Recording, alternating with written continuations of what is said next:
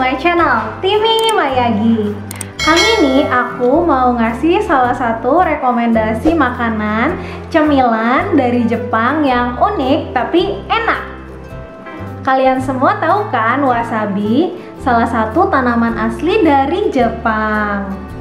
Nah, wasabi ini berasal dari suku kubis-kubisan di mana biasanya wasabi ini digunakan sebagai penyedap masakan dan biasa sering banget kita temui kalau kita makan sushi, sashimi, soba, kemudian ramen dan berbagai jenis makanan Jepang lainnya. Pasti kita akan ketemu sama wasabi. Wasabi ini memiliki aroma yang harum dan rasa yang tajam. Biasanya menyengat ke hidung seperti mustard, tapi nggak bikin pedas di lidah seperti kita makan cabai. Nah, yang unik, senyawa yang ada di dalam wasabi ini bersifat antimikroba sehingga menghambat pertumbuhan bakteri.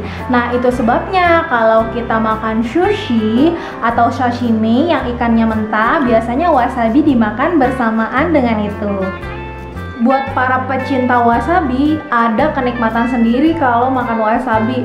Dari rasa pedas terus nusuk ke hidung terus rasanya itu sampai bikin teng di kepala terus aromanya yang nyengat atau bahkan sampai bisa makan keluar air mata. Nah itu sensasi-sensasi yang disukai bagi para penggemar wasabi. Nah, kalau biasanya wasabi itu kita makan sama sushi atau ikan mentah, sekarang gimana kalau kita makan wasabinya itu dicampur sama keju? Nah, makanya unik banget ya. Jadi aku mau kasih rekomendasi cemilan yang unik tapi enak, yaitu keju wasabi. This is a candy type cheese sweet that they use a natural cheese with cream cheese flavor with fermented milk paste and wasabi. It a bite size and easy to eat. Nah, si candy cheese ini produksi dari Marine Food.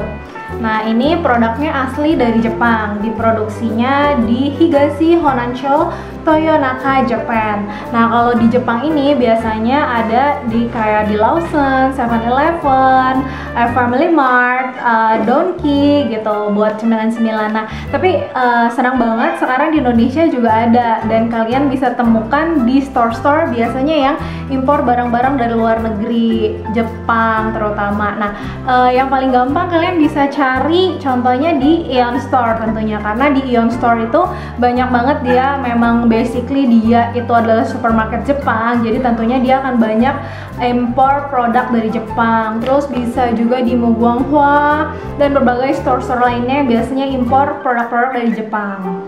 Dan apalagi sekarang kalau kalian mau cobain ini nggak perlu jauh-jauh datang ke uh, store-store yang impor makanan Jepang. Tapi kalian bisa searching aja di online shop. Itu aku lihat udah banyak banget. Nah kalau pas aku beli ini harganya rp rupiah di Indonesia.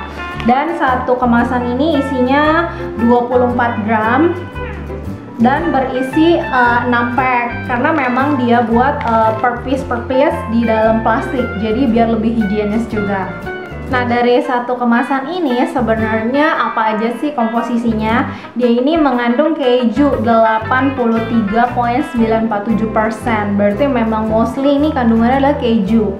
Kemudian air, wasabinya tuh 5% Terus ada perisa alami wasabi rempah ekstrak yang mengandung penguat rasa mononatrium glutamat. Kemudian mengandung pengembang natrium hidrogen karbonat. Kemudian pengental gom santan, antioksidan asam ascorbat, vitamin C. Uh, kemudian pemanis sorbitol, pengemulsi atau mononatrium fosfat, natrium poli fosfat, dinatrium difosfat. Nah, menariknya adalah produk ini tuh harus disimpannya tuh frozen atau uh, di dalam lemari es. Bahkan disarankan untuk disimpan dalam suhu 10 derajat ini ada tulisannya. Nah makanya buat teman-teman kalau yang mau pesannya itu lewat online shop itu biasanya ada keterangan di bawahnya. Mereka cuma khusus kirimnya itu pakai Gojek atau Grab only dan diusahakan itu instan. Karena memang produk ini nggak boleh di luar lama-lama bisa merusak uh, kualitas produknya. Nah kemasannya juga lucu banget ya. Tuh ada tulisan Jepangnya di belakangnya juga ada tulisan Jepangnya dan ada tanggal kadaluarsanya. Oke okay guys, kalau tadi udah dengar penjelasan-penjelasan seputar uh, komposisi, terus bisa beli di mana, sekarang pasti kalian udah nggak sabar untuk ngeliat isi dalamnya dan kira-kira gimana ya rasanya. Yuk langsung aja kita unboxing produk uh, candy cheese wasabi dari Marine Food ini. Nah ini produknya di wrap, jadi tinggal kita buka cuma bisa juga langsung kita gunting. Oke langsung kita gunting aja ya.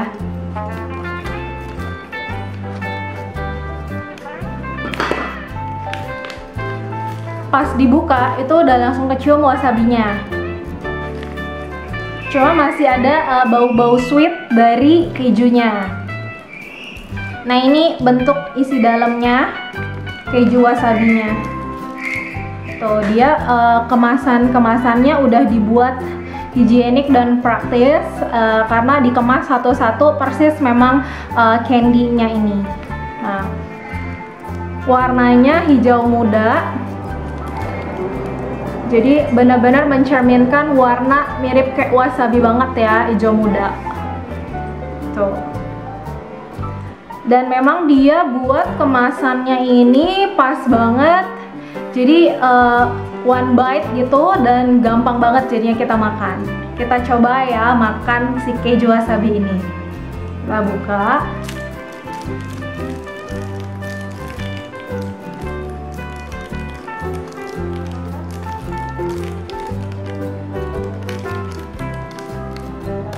Oke. okay.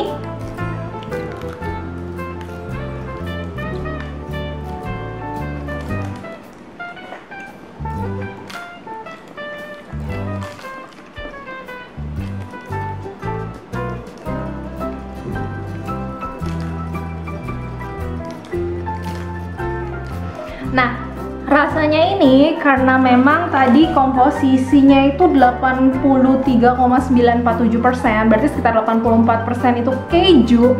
Jadi memang ketika digigit itu udah rasanya tuh lebih rasa keju sih. Nah untuk wasabinya juga nggak bikin pedas banget dan nggak terlalu sampai nyengak banget tajam banget itu enggak. Karena memang komposisi wasabinya cuma 5% jadi ketika kita makan ini kayak lebih makan keju terus nggak um, terlalu bau wasabinya uh, tapi kayak ada sedikit pedes-pedes dari wasabinya. Tapi nggak pedes yang bikin sampai kayak kita makan cabai kepedesan ya. Nggak kayak something sedikit uh, spicy no. Jadi cuma kayak uh, pedes-pedes sedikit aja tapi nggak bikin kalian kepedesan. Jadi buat kalian yang nggak suka pedes makan ini masih bisa kok karena nggak pedas banget. Dan mungkin buat kalian yang nggak suka wasabi mungkin kalian punya teman yang nggak suka wasabi jadi bahkan makan sushi tuh nggak pakai wasabi. Aku punya banget teman kayak gitu. Coba aja kalian kasih ini buat tester 5% wasabi. Jadi hopefully nanti ke depannya dia bisa suka wasabi ya karena makan ini uh, jadi bisa pelan-pelan nanti suka makan wasabinya Oke, okay, dan kalau udah makan ini jadi ketagihan banget, pengen makan ini lagi. Nah ini pas banget buat cemilannya, karena aku suka banget keju. Kita coba bite yang kedua ya.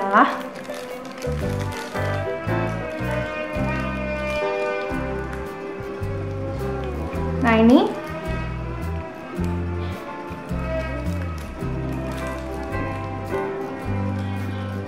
jadi memang nggak ada nggak ada isinya. Jadi ketika aku gigit memang komposisi dalamnya sama persis kayak gini.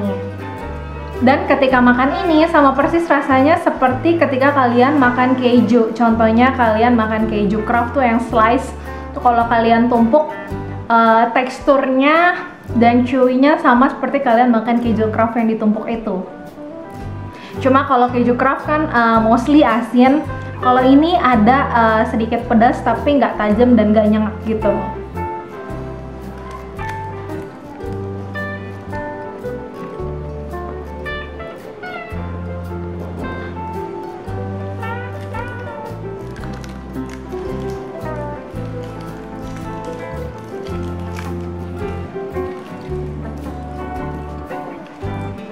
bau-bau wasabinya masih kecium dikit nih. Hmm dan satu box ini ada mengandung sekitar tadi aku udah makan dua sisanya tinggal empat lagi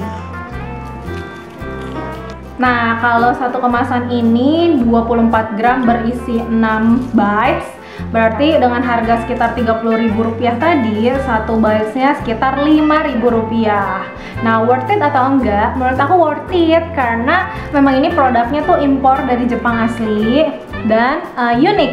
Kalian bisa makan keju tapi ada taste-taste wasabinya yang wangi dan tapi nggak pedas. Jadi menarik untuk kalian coba. Oke okay guys, itu dia salah satu rekomendasi makanan cemilan produk dari Jepang untuk kalian semua. Semoga produknya ini cocok juga ya dengan selera kalian. Nah, tinggal 4 deh sekarang. Cepet banget ya habisnya karena tadi udah makan dua. Oke okay deh guys, thank you yang sudah menyaksikan uh, video rekomendasi produk Jepang dari aku dan jangan lupa ya dukung terus channel aku dengan cara di like videonya, kemudian di share biar bisa ngemil bareng-bareng, kemudian juga di komen dan don't forget to subscribe to my channel Timi Mayagi dan nyalakan loncengnya untuk melihat update-updatean terbaru dari aku selanjutnya. Thank you for watching and see you on the next video. Bye bye.